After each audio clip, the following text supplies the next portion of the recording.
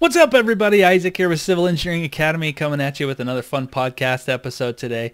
Today, as I bring in uh, or introduce this podcast episode, I just want to say that I had a really good time interviewing our next guest here, which is uh, Mark Crossfield. He's actually from the United Kingdom, so we dive into how you become a professional engineer over there. Uh, but really, Mark's bread and butter right now is career coaching. He spent 28 years as a working professional, uh, working civil engineer um, and grew into leadership roles. Started in transportation, doing engineering, moved into project management, became manager, and uh, really grew in that role that he had.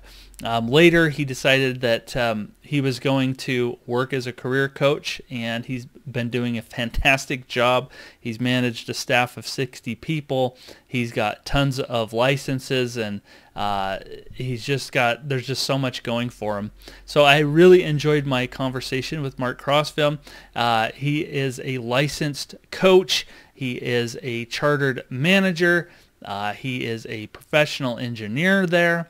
Uh, he's also a drummer. You got to throw that out there. So he's a really cool dude. I really enjoyed my conversations with him. He wants to help engineers find fulfillment in their careers, find, you know, they, he wants to help you live your best life. And so he started Bravo Coaching.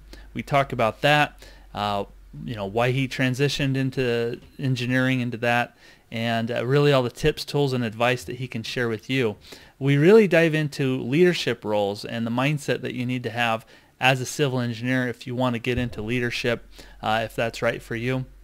And I just overall had a really pleasant conversation with Mark. I think you're going to enjoy it too. And it's all coming right up after this. Hey, what's going on, everybody? Welcome back to another fun episode of the Civil Engineering Academy podcast. I have Mark Crossfield on. How you doing, Mark? I'm doing very well, thank you, Isaac. All right, and Mark's with Bravo Coaching, which um, I've talked about earlier, um, but excited to have him on. You know, he's in the UK, I'm in the US, so we have to coordinate that a little bit, but uh, you know, it's good times. So, uh, Mark, I would love for you to just kind of dive into your own background um, and really how you started this Bravo coaching program. Yeah, thank you. Thanks for that opportunity. So, um, well, I'm an accredited coach, a licensed career coach, and a, a, master NLP practitioner based in the UK, as you've mentioned, uh, working worldwide to help people to love their job and have a great career. However, um, I am a chartered civil engineer, and I previously led multidisciplinary highway infrastructure teams in the UK probably for about 28 years. I was checking the date, so that's about, about right. Um, so I've been coaching wow. about 15 years, and uh, so I started – Bravo Coaching in 2019, working as a full time career coach. And now I get to help people all around the world with their careers. And I particularly enjoy working with civil engineers to support their career development. That's awesome.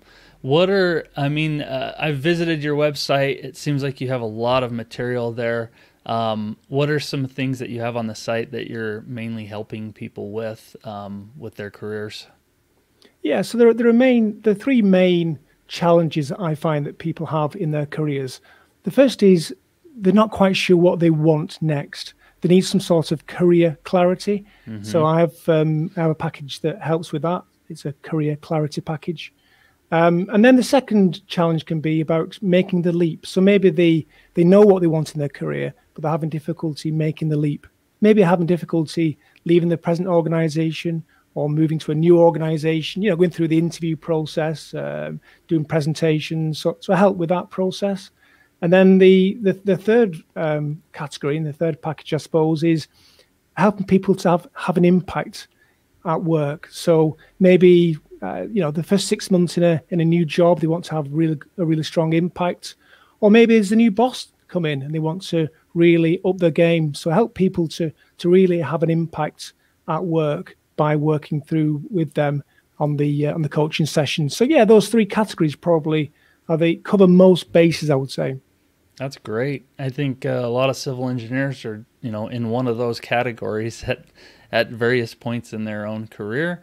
I myself am a working engineer and find myself kind of going through that, um, you know, as we speak. So yeah, it's just one of those one of those things. Absolutely, and uh, the reason why I'm doing this is because I was in that category as well. I was I was in a, you know, a really good job in terms of civil engineering, but it wasn't a good job for me.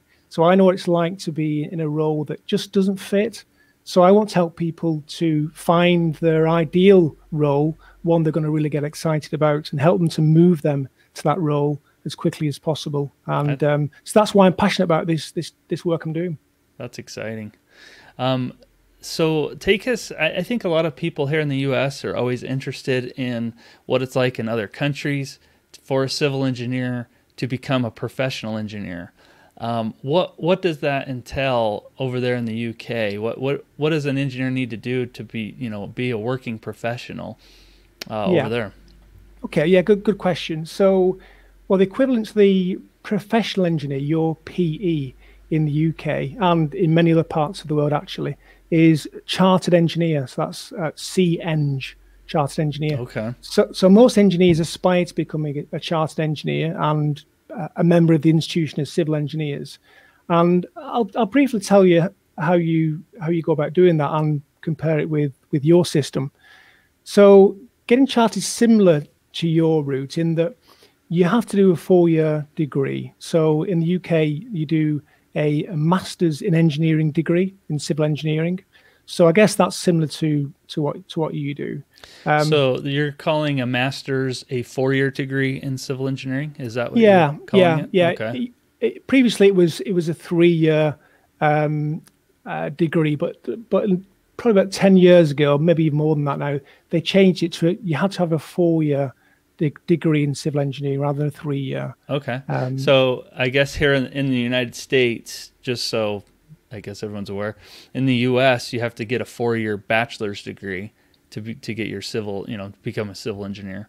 Um, any additional education, if you if in the U.S. if you got a master's in civil engineering, it's typically an additional two years of schooling here in the U.S. So that's that's interesting. Yeah. Anyway, yeah. sorry. Keep going. No, that's that's that's interesting to know. The, the, there isn't um, there isn't really equivalent in the UK of your fundamentals of engineering exam, your FE exam. There isn't anything like that in the UK what happens is um, once you graduate, then you enter a period of uh, professional development. And in the UK, it's called initial professional development. And think in, in I'm, I'm right in saying that it's in, in the US, it's four years, is it? And that's, that's how long you. Yes, and it, that actually depends on each state, but most states require four years of experience before you can actually get your license to be a professional engineer. But yeah, yeah you're right. Yeah. Okay. So four years is probably, I would say, uh, on the on the minimum side in mm. the in the UK. Most people take a bit longer to to do their initial professional development because it involves um, you know doing lots of work with your supervising civil engineer in the organization like there's regular regular annual meetings and you have um, different attributes that you need to achieve within the industry, different things you need to learn about civil engineering, and all those have got to be signed off before you get to the the, the final hurdle, which I guess is similar to your um, your your final exam, your PE, I guess. Yeah. Um, we have a professional review process, so this is a a, a final a hurdle, if you like, that you've, you've got to leap, and that involves submitting lots of, well, not lots of reports, a couple of reports on projects you've worked on and also about your professional development. And it entails an interview and some sort of, uh, you know, examination at the end, if you like, to uh, to make sure that you've you've you've achieved um, what you should achieve by the, the, the point you've got to the review. And if you pass that, then you become a, a chartered engineer in the in the UK and um, you, you, then you can use the the CEng moniker, and um, and you become a member of the Institution of Civil Engineers. Awesome. So I'm just curious. Um, does this person that you've that you're working with, uh, do they become a, like a mentor to you? Does it trade off? You know, are you always working with the same person that signs off on your experience and and work, or uh, like I'm just curious how is there a bond there that maybe you be, this person becomes a mentor to you in, in what you're going through, or is it simply a, for, a formality to to get your CEng? Yeah, so so each each organization has a supervising civil engineer. That okay. person is responsible for all the people that are going through training within that organization. So if, in bigger organizations, mm. there might hmm. be 20 people going through the process. That person is responsible for all those engineers. However, um, because that is quite a big role that the that person has, they have uh, delegated engineers. Now, those delegated engineers do act a bit more like a mentor, actually. So they they have a much closer relationship with the trainee, making sure that they monitor and support that development. So it's quite a good uh, arrangement in many ways. They have the one person overseeing the whole thing, uh, and they see the trainee once a year, and then they have a delegated engineer that will, will typically actually meet you on a quarterly basis for a formal meeting, but will probably see you in between those those times as well. So you do get quite close mentorship in that respect. Wow, that's interesting. So I guess as a you know to carry on that conversation, many engineers are looking ahead to their future. Obviously, some of them want to be leaders. Some of them uh, just want to be engineers. Um, I'm curious, what kind of hurdles do you see that are in place for engineers that want to become become a leader? Well, I would say probably the biggest hurdle is the mindset. I think the mindset does get in the way of making that journey to becoming a manager and a leader.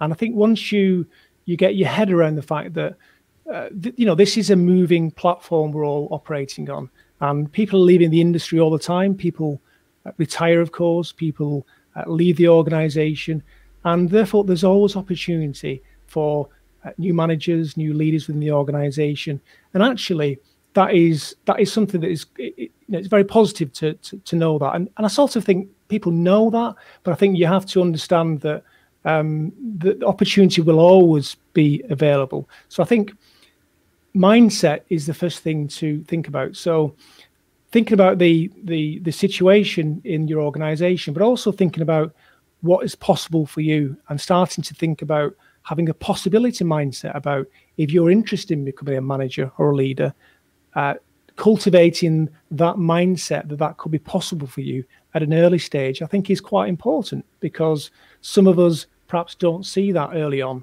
And to start to think about yourself in that way is quite useful, such that when you, as and when you develop as a professional engineer, that you take opportunities as they arise. So I think probably you know, leadership uh, mindset is probably the first challenge. And I, if I if I say a little bit about my story, so I um, I started out really as a, uh, I suppose, I, you know, as a graduate engineer, and then I started working as a, a senior engineer in an organisation. And then as I started to um, develop myself, an opportunity came up to be a manager in a, in a different organization. And for, for me at the time, I remember feeling like that was that was quite quite a big leap. And it wasn't until I actually started the role that I, I felt a bit more comfortable in that position. So I think also there is an element of sometimes you, you don't always feel ready to make that leap. And sometimes you have to make the leap. Mm-hmm. And when you arrive there, then you you start to feel more comfortable in that position. So again, it's about mindset really. Sometimes you you you're having to overcome the mindset initially, but making that leap does help.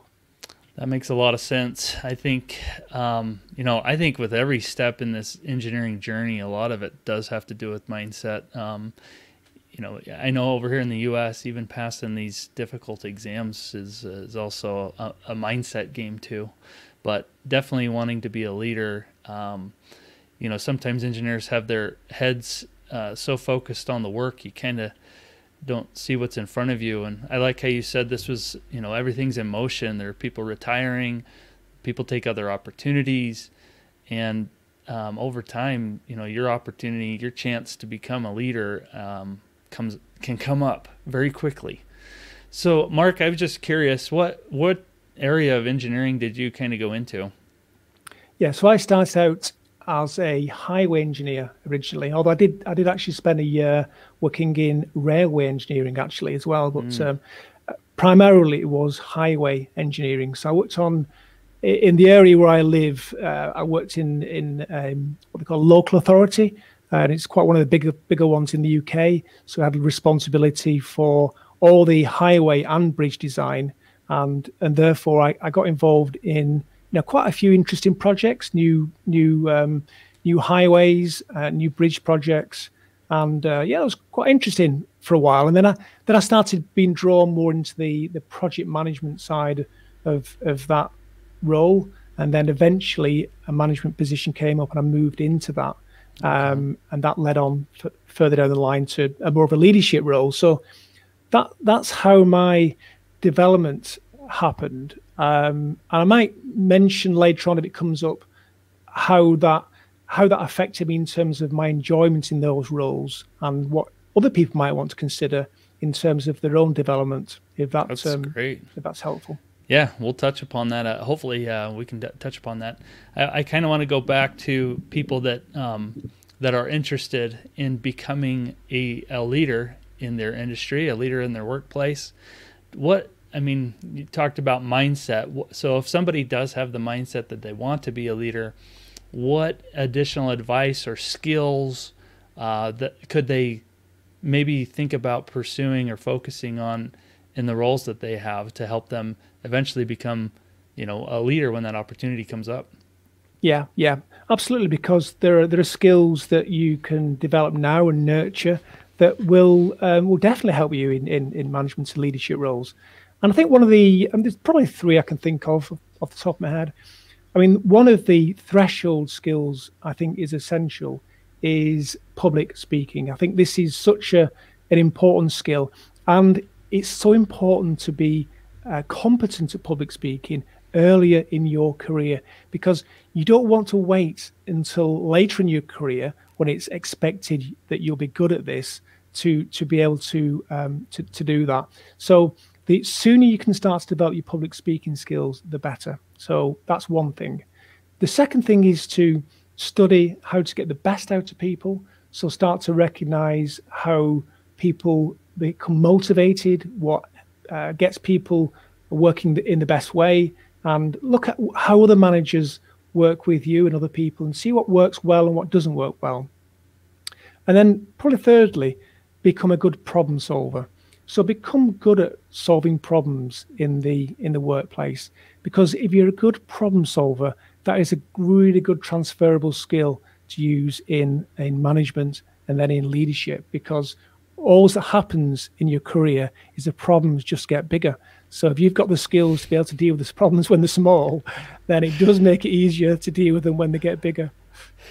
And um, now, when you say that, are you talking about any kind of problem or uh, like specific engineering problems or just conflicts within any project? I've, I've noticed that, um, at least in my own career, you know, engineering problems that you know you can solve those but it seems like the bigger conflict is maybe like communication problems that you're having with other departments or trying to get information or questions answered in different arenas i mean is that is that what you mean yeah i, I suppose it's having a, a, a, methodology to deal with problems in, in a way which is is going to be uh, something you can use later on so one thing you can think about is first of all how you define the problem. So the first thing you do with any problem, I think, is to tr- try and define what the problem is, because quite a lot of people rush in thinking they know what the problem is when they've not thought through exactly mm. what it is actually they're dealing with. So that is so transferable. once you once you're able to define a problem, then you're off to a good start. And I think secondly, it's about then coming up with ideas to solve the problem and not necessarily um, evaluating those ideas, but just capturing as many ideas as you can. Then do the analysis of, of the options you've got to look at the uh, the best solution. Now, that is a simple uh, sort of three step process, but that you can apply that at any point in your career to most problems. And so, so having a process of, of doing that, it can be really helpful. Now, I know that when you start getting involved in involving lots of different people in um, problem solving, it can get a little more complex. But as leaders, and and your audience, of course, are future leaders, having that methodology in your head and being able to communicate that to people helps those people to become good at problem solving as well. And then, you know, once you've you've been able to set the agenda for problem solving as a group, it becomes even easier to solve the bigger problems that might challenge you. That's awesome. I can tell you've put a lot of thought into that, and that's that's uh, that's that's great a lot of detail there. So, thanks for sharing that. Um, I'm also curious. Um, you know, sometimes engineers don't want to be in uh, in a leadership role. Like, if if somebody's unsure whether they want to be a, a leader or they're worried about maybe even the skills that they think they that are needed. Do you think that there's any sort of test or advice that that you could give an engineer to see if maybe that would be a pathway for them or not? Because I feel like people don't know what they don't know, and unless you take a step forward and experience something, you know, how how would you ever know? So I guess if an engineer is questioning whether they can even do that, is there anything they that you think they could do to to test out, um, see if a leadership role might be the area they want to go? Mm, this is such such an important question. I'm, I'm glad you've asked it actually, Isaac, because for me, there is sometimes in the industry this idea that we all gravitate towards management and then leadership, and that is the that is the right path, and that is the the path we should all be thinking about. But actually, we're all different. So I think it's about um, understanding that first of all that that is not right for everybody. Some people may want to stay as really excellent engineers. Uh, maybe maybe the actual the, the projects get bigger, but they don't particularly want to move into management or leadership, and that and that's okay as well. So, uh, or maybe they want to be you know really excellent project managers, and mm-hmm. the, the projects get bigger and more exciting, but they don't particularly want to move into um, a, a, inverted commas leadership role. So first of all, knowing that there is there are different roles with engineering and, and civil engineering in particular, and that the industry is so um, there's so much to offer in the industry that there's you, you can find a role with that industry that best best suits you. Knowing that is is good to start off with, and I think I would I would say in terms of looking at how you can check if it's right for you. I think there's a couple of things you can think about.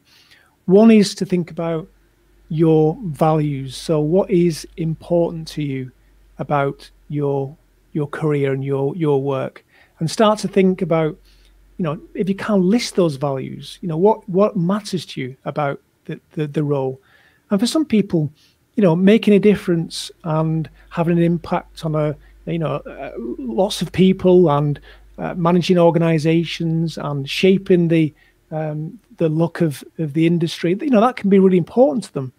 For other people, they have different values, and maybe it's about, you know, ha- having satisfaction in uh, completing engineering solutions and, you know, completing really excellent projects, but not necessarily going for roles that maybe uh, require leadership skills. So I think it's about thinking what what is important to you firstly, and then also starting to think about your skills. So think about what you in what what you're good at in your in your career firstly, and also what what sort of things do you in, do you enjoy doing. I sort of gravitated to management because I, I quite like working with people. I, I was fascinated by what motivates people, and it, for me, it was like a natural um, inclination to, to move towards management. But for other people, they might not have that same inclination. That management and the skills that you require uh, uh, as a manager might not be something that you're interested in. So it's about understanding your your your skills and your strengths, I guess, and also what's important to you. Those two things help you to understand yourself better and give you a sense of whether management and their leadership might be something that you're interested in checking out. That makes a lot of sense. So, um, for me, I also think about lifestyle changes too. You know, I, I you know, you enjoy um, these uh, if you're in a leadership role that that might take a little more time out of your day but you have real impact on the organization and the and um, the decisions that they make. And um, you know you have to kind of balance those things. So kind of depends on what what you want with that. Um, speaking of leadership and all of these different roles is there i i know there's a lot of different leadership styles out there. Is there any that you feel like you gravitate to or that kind of rise rise to the top in your mind? I guess as a coach, I probably should say, uh, you know, coach style leadership is is is probably uh, the, the the most effective. I guess um, this is where a leader's focusing on, you know, identifying and nurturing individual strengths of each member in a team, and that can work really well on on uh, on, a, on a project in particular. Um, so I think that's quite it's quite a good uh, leadership style, but I don't think it works in every every situation.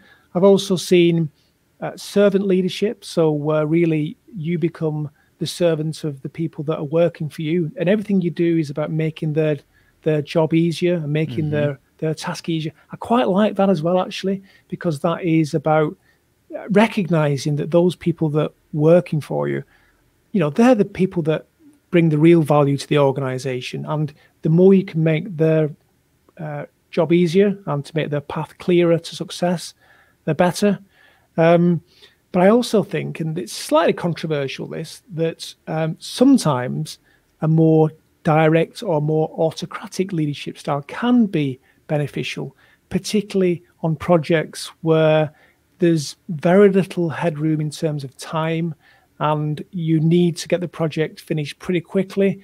And there's not a lot of um, opportunity to have that um, you know, uh, sort of uh, more servant leadership or the coaching style, where really a more directive approach is is needed. But I would say, so I, so I think it is useful sometimes to have that. So you're Mark, being that very. sounds like every project. yeah, I know, and I, I, I recognise that, and I think I was I was just going on to um, to reflect on that. But I don't necessarily think that is a good thing if that's the only style that you have.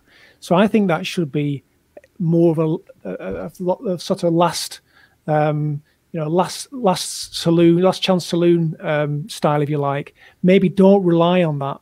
Um, it, you know, it's not the ideal leadership approach to take, but it, it sometimes can be useful if needed. So, speaking of that, uh, this question comes up on a lot of areas, but the difference between a leader and a manager. Uh, what are your thoughts surrounding that? Yeah, I think that's. Um, I mean, we could probably talk for three hours about this. Yeah, because that's such a a big role. so, uh, so okay, let's think about this in terms of civ, civil engineering. So let's simplify the the function down to three things actually. So project, planning, and people. So if we talk about the project, I think a manager is organizing, doing day to day management, maybe project management, whereas a leader, uh, in terms of the project bit, is doing the vision for success, inspiring action, connecting stakeholders, and thinking about the, the longer term project issues. If we come to the planning side, then the manager is coordinating, resourcing, doing procedures, getting things done. But the the leader is thinking about the strategy, the long term planning, critical problem solving, thinking, and innovating. And then finally, we come on to the people side. A manager is recruiting, evaluating, it's more command and control. But when you get to the leader, this is more about coaching, developing the team, and seeking followers and inspiring the team. So I've, I know I've widened the, the definition a little bit, but I think uh, I hope that is is helpful for your audience, Isaac. No, that's perfect. I really like how concise you've made that, and I think it's spot on. And I think at some level, everybody everybody is a leader at some level. You know, you are over your project, you are the engineer over that, and so um, you know, at some level, everybody has leadership skills that you're going to have to develop at some point. So that's just part of being a civil engineer and the arena that you kind of got into. So, good points. Um, as we wrap this up, Mark, is there any resources out there, books, uh, anything that you'd like to mention to the Civil Engineering Academy audience that might, they might find uh, re- helpful in, in this journey? Yeah, so there's there's, a, the, the, there's three things I would I would um, recommend. So I mentioned public speaking earlier on, and I did listen actually to uh, your episode with Neil Thompson, and I do echo his um, sentiments about it's something you've got to do. Excellent. So you know, you know, join Toastmasters, um, get a Zoom group going, uh, join Clubhouse, practice your speaking somewhere where you can get better. So that's my first uh, tip. Secondly, study leaders. So read about what leaders do and re- reflect on what good leaders around you do as well. My favorite book on leadership is actually a book called Shackleton's Way. Um, this is a, a book by um, Dava. No, it's not by Dava Sobel. Sorry, it's the. Um, you got a copy of it there? Yeah, I've got a copy. So let me show show me, me, that. And we're recording this too. Let me show you that. So that's by there. Margot Morrell and Stephanie Capparell. Huh. And this is a, an amazing book because it's it's about the Antarctic explorer. Um, Ernest Shackleton, and it's leadership tips all the way through. But each chapter has summarized advice on leadership, so it's an mm. excellent book to read. The, the final tip is about problem solving, and the the book or the audio program I would recommend is called Your Deceptive Mind, a scientific guide to critical thinking skills um, by Steven Novella. And I got this on Audible although you can you can buy the book actually. But the Audible uh, series is excellent, and uh, this is a really good way to understand how your thinking skills work and how you can sharpen your thinking skills. So I recommend that those three resources for your audience. Those are great. We'll link all that in our show notes and make sure everyone's aware of them. So um, I have I have yet to either listen to that or read that other book. So I will I'm going to dive into those as well. So those, those are great. Well, Mark, I appreciate it. Uh, what's the best way for people to reach out to you, connect with you, uh, if they you know need want to career coaching or any of your other tips and advice? I I want them to connect with you. So what's the best way to do that? Yeah, sure. So I'm on LinkedIn, so people can find me there. I'm, I'm on LinkedIn. Um, but I mean, my website is uh, bravocoaching.co.uk, and on the website, it, it talks about what I can do and then what I can help you with, my career coaching, but also my podcast, which is called Your Bravo Career. So if you're interested in finding out more about how you can love your job and have a great career, then maybe subscribe to the podcast. Awesome. Well, I really appreciate you jumping on. Uh, you've shared a ton of tips with us, and um, I can just tell that th- this is your bread and butter. This is your forte, and uh, you really enjoy this. So I really do appreciate you jumping on. Thanks, Isaac. I really All appreciate right. you having me on your show. Yeah, thanks. We'll see you next time. Thank you. Bye.